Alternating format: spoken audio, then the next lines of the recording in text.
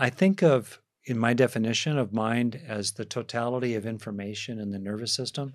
Some of that information is static, it's just stored, right? If I were to ask you, remember a time you were in school, grade school, mm-hmm.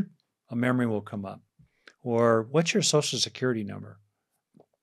That's statically stored information. It's interesting that the neural substrates that store static information are dynamic because they're metabolically changing.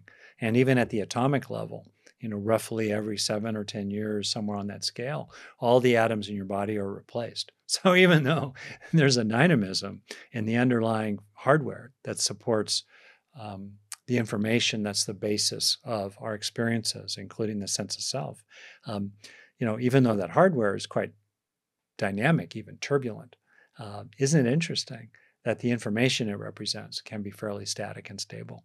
So some information is not dynamic, it's not process. On the other hand, there's a lot of processing, a lot of flow, including the information flow that's the basis for the streaming, the process of consciousness.